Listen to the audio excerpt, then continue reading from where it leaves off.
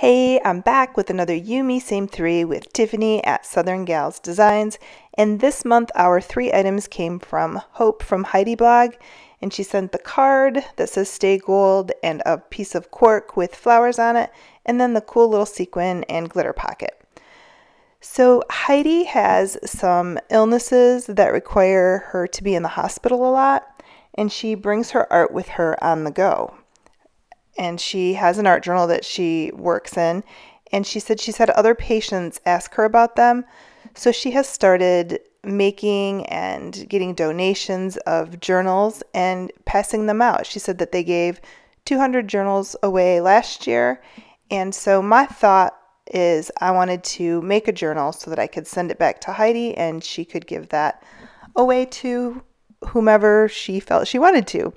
Anyhow, if you want to learn more about what Heidi does and um, what's going on with her, please check out her Instagram page or her website.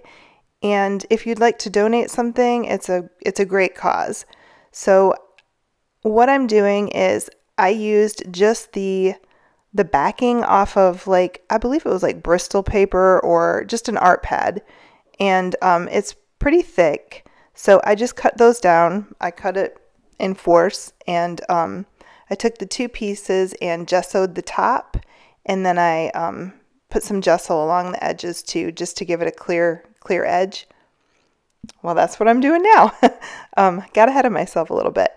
But I pretty much, I didn't use any paint other than gesso in this whole project. And um, what I did use was just two Lindy Stamp Gang colors, and I'll have all of the supplies listed below and anything that I can link through the affiliate link, I will. Just remember if you purchase from that, a small commission, commission, compensation, whatever you want to call it, will come back to me. So, um, anyhow, I just glued those pieces down with matte medium. And um, then I folded the edges and kind of distressed it with the distressing tool. And then I'm going to use a soft pastel to just kind of edge it, just kind of give it a little bit, a little bit of color around the edges. Now, I will tell you, my video is a hot mess, and I apologize for that. Not only was this a challenging, um, a challenging collab this time, but it was challenging for so many reasons. My uh, my video camera is dead, and I kind of had to finagle it to get it to work, but it's here, but you can tell, um, yeah, it's missing a little bit, and I apologize for that, but I have a new video camera coming, so hopefully it'll be better than before. And um, Tiff was kind enough to let me know what camera she has, and y'all know her videos always turn out amazing, so I copied her. So if mine is horrible, then we know it's all user error. But it probably is anyhow, because technology and me do not get along at all. But anyhow, I cut down the stay gold because I wanted that to be kind of like the focal piece, the centerpiece of the whole project or of the whole journal. So I'm just taking some gold, it's Amsterdam acrylic ink and a fan brush and just putting some some little splotches or splats or whatever technical term you would like to use. And then another, using the um, the soft pastel again just around the edges.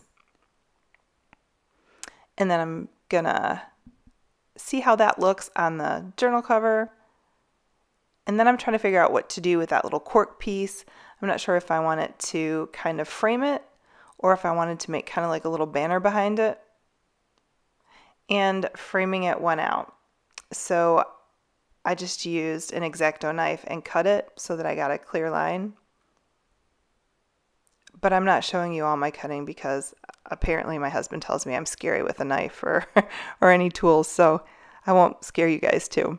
So I used heavy matte gel medium on anything that had any weight to it, and everything else was just regular matte gel. No glue stick this time either, so no paint, no glue stick.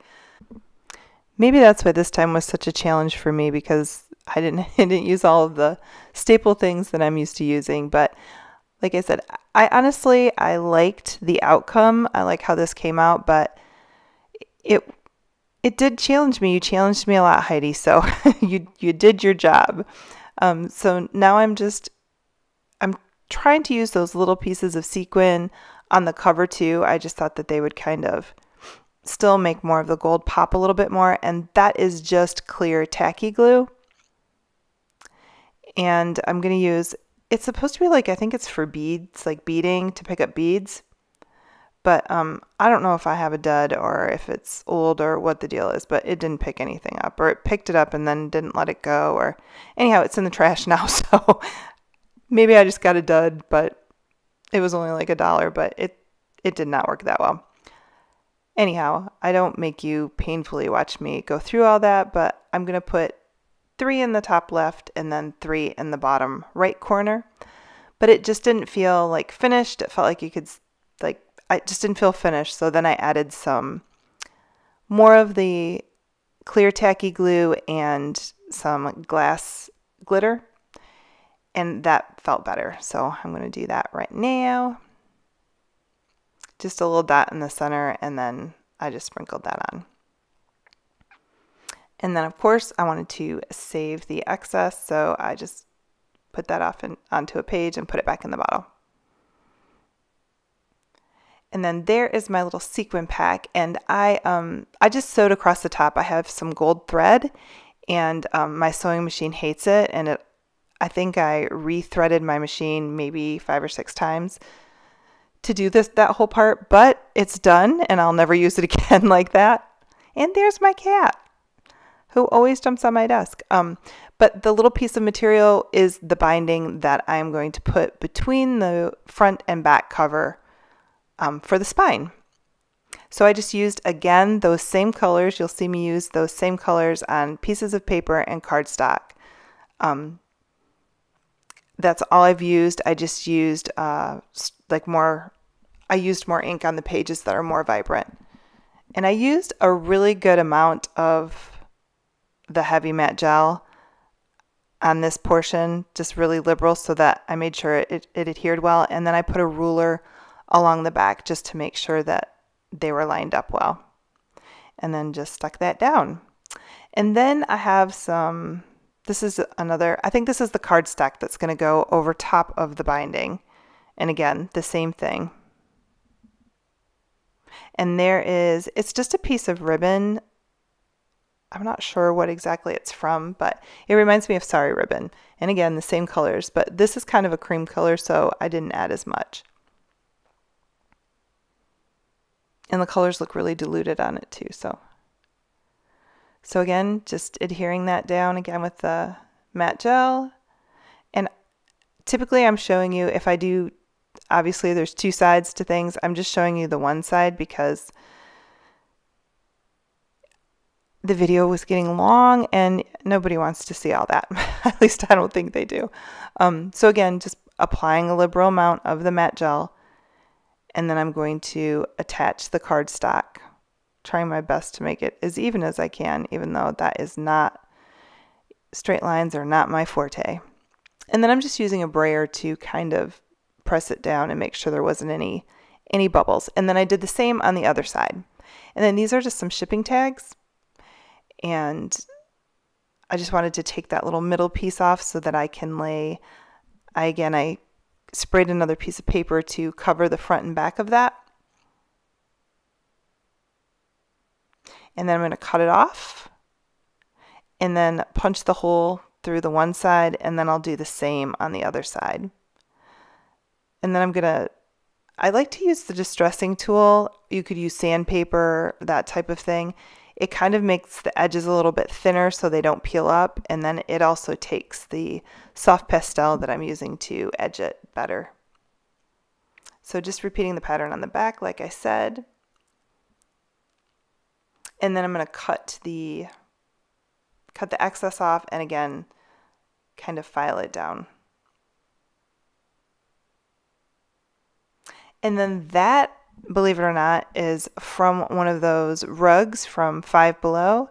And if you just peel all the layers out, you get all these crazy fibers that are almost like sari ribbon. And there I'm going around. And this time I used a little darker color. And I'm just going to use that for the ribbon on the tag. The So it's from a rug, but it's never been used as a rug Tiffany and I bought them for that when we were at a workshop in Tennessee, I believe, or not Tennessee, but in Franklin, I believe. I think it was Jean Oliver's when we went to one of her workshops.